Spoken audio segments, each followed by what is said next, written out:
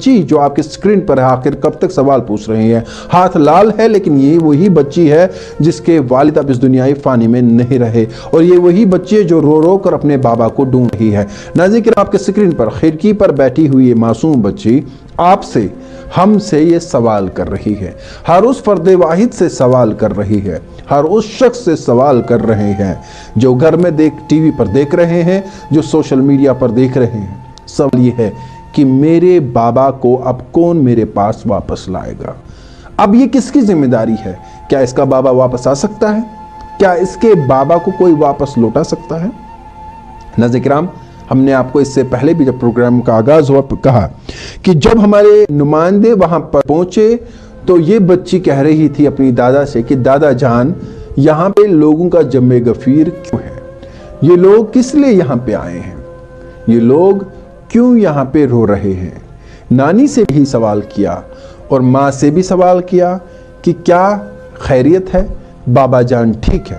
और जब इस बच्ची को पता चला कि बाबा को मारा गया है, अब ये बच्ची हमेशा यही सवाल करेगी कि बाबा की खता क्या थी।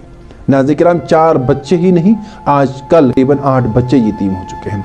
सोपुर में मोहम्मद सुल्तान के चार बच्चे हैं। अब वो चारों यतीम हो चुके हैं। उनका कोई सहारा न रहा। जो सहारा था, उसे बंदूक के दहानों से निकली हुई गोलियों ने यतीम कर दिया। इन बच्चों का सवाल सवाल ही रहा, क्योंकि जवाब देने की न कौम तैयार है, न यहाँ वो सियासतदान जिन्होंने यहाँ पे हमेशा खून की खेली, होली खेली और सियासत से अपना यहाँ पे लोहो गरमाया। आज भी ये बच्चे हमारे मासूम यतीम हो रहे हैं और इन यतीमों का बार बार एक ही सवाल है कि हमारे वालदेन के साथ ऐसा क्यों? हमारे बाबा जान जब घर से निकलते हैं तो उन्हें क्यों मारा जाता है? आया, हमारे मासूम बच्चों को कब तक यतीम होना होगा? हमारी माओ की गोद से कब तक उनके बच्चे छीने जाएँगे? आखिर कब तक वो बहन जिसकी शादी के चंद साल ही हुए हैं अभी ख्वाब पूरे भी नहीं हुए, उसके खावंद को कब गोली लगेगी? आखिर हमारे वालिदैन को इस बात का डर क्यों है कि उनके बच्चे सही सलामत घर कब आएँगे? सोपुर की बात करें या आज हम लोलाब कुपवारा की बात करें? फिर एक बार मासूम बच्चे यतीम हो गए। फिर बाबा बाबा की बातें चल रही है। जो बाबा कल शाम तक अपने बच्चों के पास रोज होता था। जो बाबा बच्चों से बात करके कहता था कि, बेटा, आज आपके लिए क्या लाना है? आज मातम कुना है। आज चारों ओर लोग रो रहे हैं। मैटर से कहूँगा कि खुदा रा वो विजुअल्स दिखाए कि किस तरह से आज वो माँ कह रही है। कि आया मैंने यही दिन देखना था कि मेरे से पहले मेरा ही बच्चा चला जाए।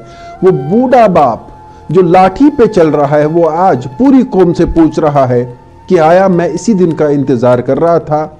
सोचा ये था कि मैं पहले मरूं और मेरा बच्चा मुझे कफन पहनाए और उसके बाद में मदफून हो जाऊँ, दफन हो जाऊँ। ऐसा नहीं हुआ, बल्कि मेरा बच्चा ही मेरे से छीना गया।